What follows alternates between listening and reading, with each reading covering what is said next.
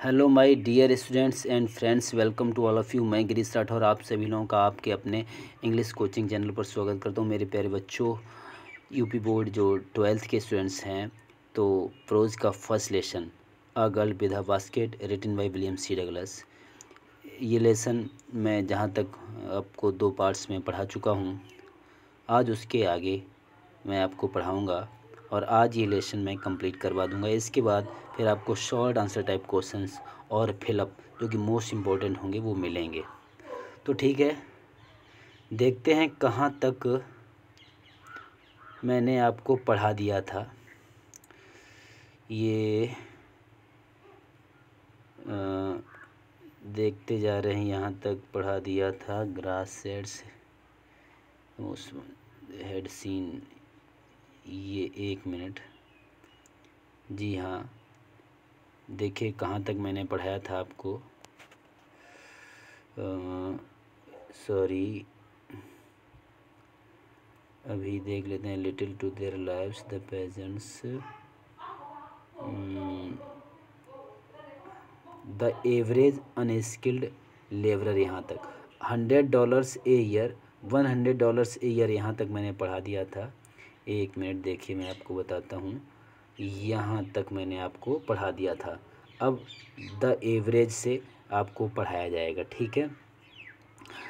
अब मैं आपको द एवरेज से पढ़ाऊँगा। The average unskilled labourer makes thirty cents a day और less than two dollars a week. ध्यान से समझिए, द एवरेज औसतन अनस्किल्ड लेबरर माने अकुशल जो मज़दूर होते हैं, मज़दूर होता है मेक्स थर्टी सेंट्स वो तीस सेंट कमाते हैं ए डे माने एक दिन में, और less than two dollars a week मतलब एक सप्ताह में दो डॉलर से भी कम हुए। There is one meal a day एक दिन में उन्हें सिर्फ़ एक बार खाना मिल पाता है। एन ऑनियन एक प्याज मिल पाता है। ए पीस ऑफ़ रोटी का एक टुकड़ा मिलता है। ए बॉल ऑफ़ पल्स एक कटोरी दाल मिलती है। विद मिल्क दूध के साथ में। पर हैप्स मैंने शायद a bit of goat goat cheese और शायद बकरी के दूध से बनी हुई पनीर का एक टुकड़ा उन्हें मिलता है। नो टी, उन्हें चाय नहीं मिलती, नो कॉफ़ी कॉफ़ी नहीं वो मज़दूर पी पाते हैं, नो फैट, ना वसा वाला कोई भोजन कर पाते हैं, नो स्वीट्स, ना उन्हें भोजन के साथ में कोई मिठाई मिलती है, नो मीट और ना मीट खाते हैं, वो खा ही नहीं पाते हैं।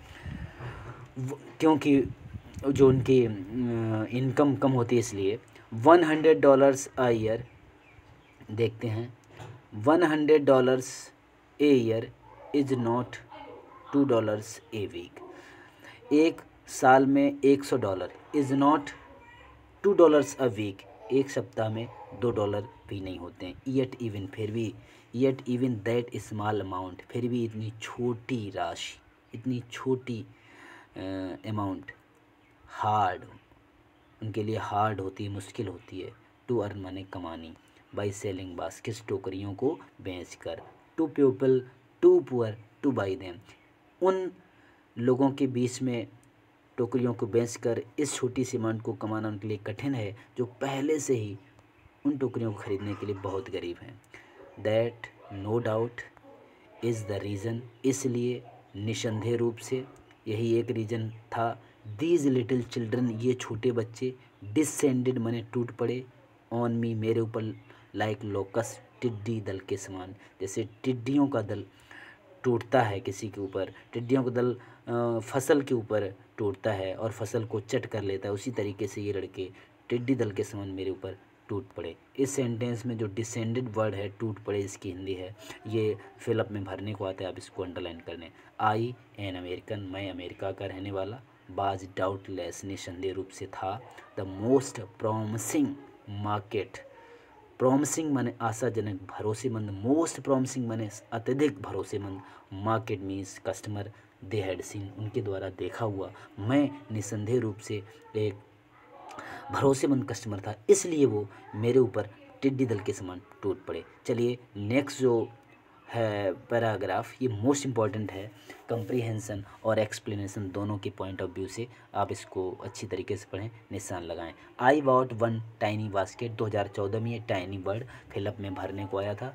मैंने आपको बताया, जब मैंने आपको पैटर्न बताया कि चार नंबर में प्रोज बेस पर फिलअप आते हैं तो टाइनी आप ध्यान रखें। I bought one tiny basket tiny से मतलब है छोटी। मैंने एक छोटी टोकरी खरीदी फॉर ए फ्यू आना, कुछ आने में। एन अदर फ्रूट बास्केट और टोकरी रखने सॉरी फ्रूट बास्केट फल रखने वाली टोकरी फॉर ए बिट मोर कुछ दो, थोड़े ज़्यादा रुपए में खरीदी। A beautiful waste paper basket और एक सुंदर सी रद्दी टोकरी डालने वाली रद्दी कागज़ डालने वाली टोकरी भी खरीदी फॉर अ रुपी एक पैसे, एक रुपये में। Lovely swing basket for a rupee और एक रुपये में बढ़िया सिलाई की, सिलाई वाली मैंने टोकरी खरीदी। Few fans for an anna और टू पैसे। एक, दो, एक आने में या दो पैसे में मैंने एक बढ़िया से, मैंने बढ़िया से पंखे खरीदे। माई आर्म्स वर फिल्ड मेरी बाहें भर गई थी। I had not and I had not spend fifty cents और मैंने पचास सेंट भी खर्च नहीं किए थे। द चिल्ड्रेन पास जिन जो बच्चे गुजर रहे थे मेरे पास से shouting their wares shouting their wares का मतलब अपने माल को, अपने सामान को बेचने की आवाज़ें लगा रहे थे, चिल्ला रहे थे, I was a prisoner completely इसमें प्रिजनर इंपॉर्टेंट है अंडरलाइन करने सेंटेंस में भरने को कई बार एग्ज़ाम में आया है। आई वाज लेखक कर आई वाज प्रिजनर मैं एक कैदी बन गया था कम्प्लीटली सराउंडेड जो पूर्णतः घिर गया था, पूरी तरीके से बच्चों के द्वारा घिर गया था अनएबल टू मूव मैं इधर उधर हिल भी नहीं पा रहा था। आगे से देखिए, द मोस्ट डेलीजेंट बहुत ही इंपॉर्टेंट सेंटेंस है। कई बार इसमें डेलीजेंट, एग्रेसिव और वेंडर भरने को आया है। और और आगे नीचे नाइन नाइन जो है, उसकी एज ये भी भरने को आई है। तो कहाँ पर थे? हाँ द मोस्ट डेलीजेंट अत्यधिक मेहनती, अत्यधिक परिश्रमी और एग्रेसिव आक्रामक वेंडर माने विक्रेता जो थी, वाज ब्यूटीफुल गर्ल, वो एक सुंदर लड़की थी ऑफ़ नाइन नौ वर्ष की right in front of me मेरे बिल्कुल ठीक सामने खड़ी थी।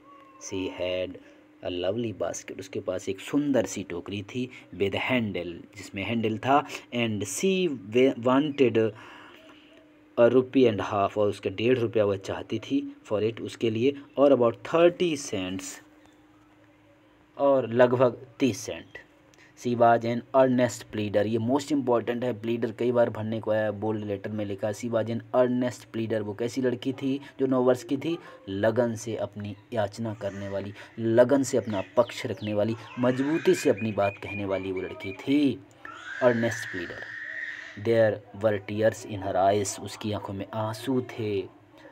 सी प्लीडिड उसने वकालत की, इन बैग्ड, एंड बैग्ड और विनती की, याचना की इन टोन्स ऐसे स्वर में, ऐसे आवाज़ में that would wring any heart जिससे किसी का भी हृदय जो है, पिघल जाए, द्रवीभूत हो जाए।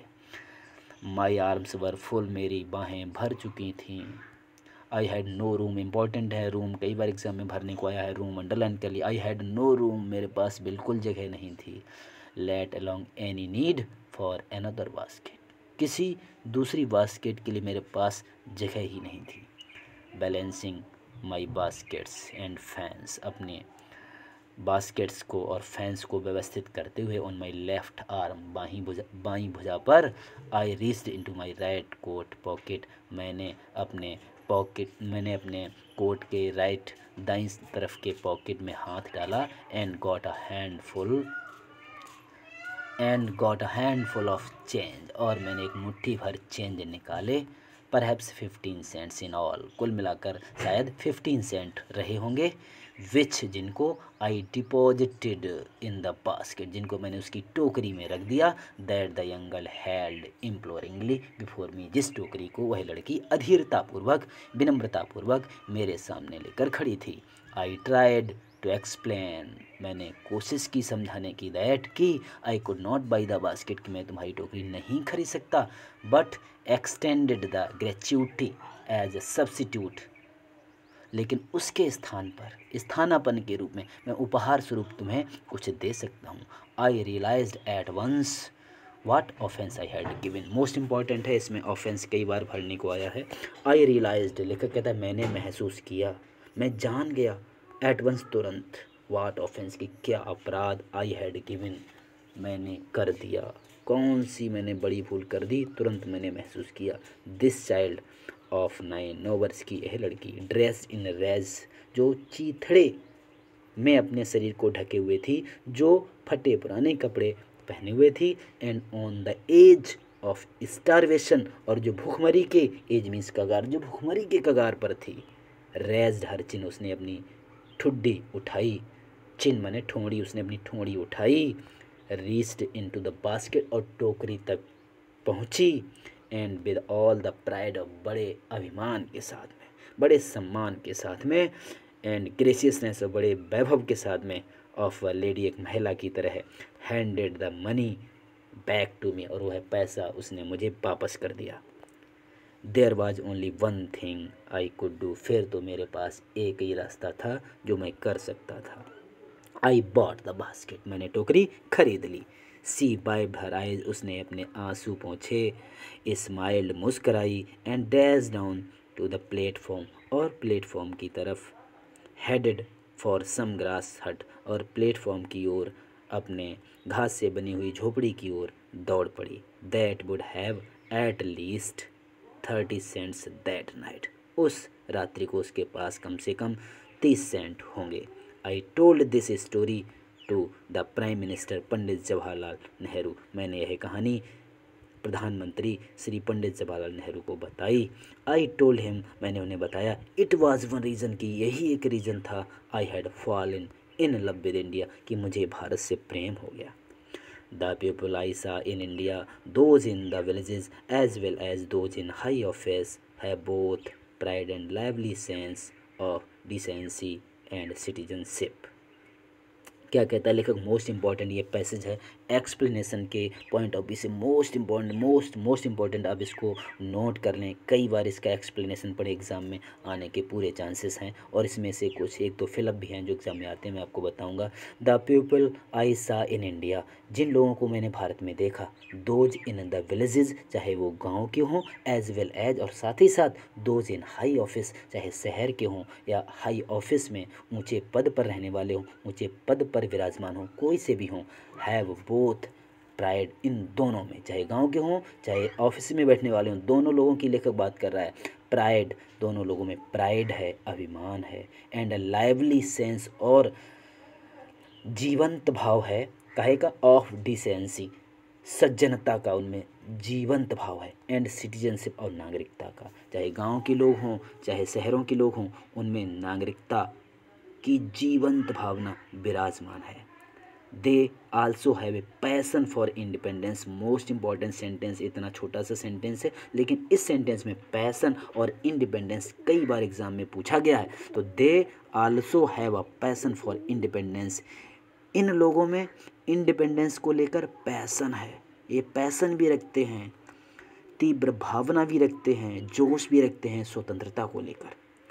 दिस ब्यूटीफुल चाइल्ड यह सुंदर लड़की बॉर्न इन स्कॉलर, जो गंदगी में पैदा हुई एंड पॉवर्टी गरीबी में पैदा हुई। गंदगी और गरीबी में जिसने जन्म लिया अनएजुकेटेड जो अनभिज्ञ है, अशिक्षित है, अनपढ़ है इन बोथ ग्रामर दोनों में ग्रामर में भी एंड मैनर्स और तौर तरीके में भी, सलीके में भी, दोनों में जो अनभिज्ञ है फिर भी क्या किया उसने? Had given me a glimpse of the warm soul of India फिर भी उसने मुझे झलक दिखा दी। ग्लिम्स माने झलक of the warm soul of India किसकी? भारत की जो जीवंत भावना है, जो जीवंत आत्मा है, भारत की जो सजीव आत्मा है, उसकी उसने मुझे झलक दिखा दी। जबकि वह हर तरह से अपने तौर तरीक़ों से अनभिज्ञ थी। गंदगी और गरीबी में पैदा हुई। फिर भी इस लड़की ने मुझे, जो भारत की जो सजीव आत्मा है, जो जीवंत आत्मा है, उसकी झलक दिखाई। झलक के उसने मुझे दर्शन करा दिए। ऐसा लेखक ने भारत के तत्कालीन प्रधानमंत्री पंडित जवाहरलाल नेहरू को बताया। उम्मीद करता हूँ कि आपको ये लेसन समझ में आया होगा और आप अपने नोट्स बनाते जाएँ ताकि आपकी पढ़ाई जो है सही तरीके से चलती रहे। Thanks to all of you for watching my video